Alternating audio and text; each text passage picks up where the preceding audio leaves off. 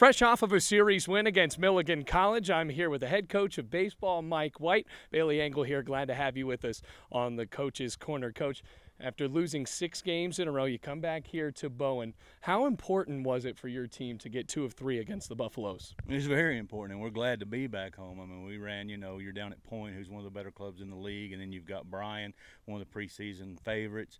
Uh, so it, it, was nice to play at home and, and, and very important to get two out of three from Milligan. A good Milligan club, by the way. Well, yesterday, speaking of pretty good, your freshman pitcher, Seth Perkins, goes by Alex Perkins with his teammates. He pitched a complete game and had nine strikeouts against the Buffaloes. Did you really expect that of such a young player? No, we, we didn't. You really don't know what you're going to get out of the young guys on the mound, but we're so pleased with how far he's come from, from where he was in the fall to where he is now and the role that he's starting to develop on the club.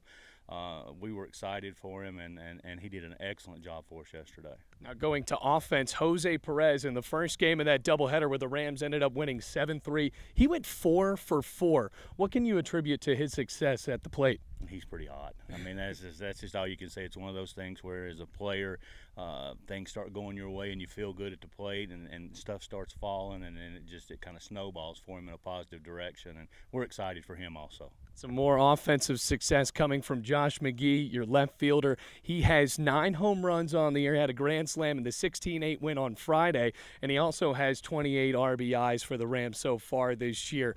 His power has been a lot to reckon with this year. It is, and he's a very strong individual too, and, and he works hard at his craft. I mean, he's in here every day, putting in the extra work, doing the extra things, and, and I'm glad to see him starting to reap some of the benefits of, of the hard work that he's putting in.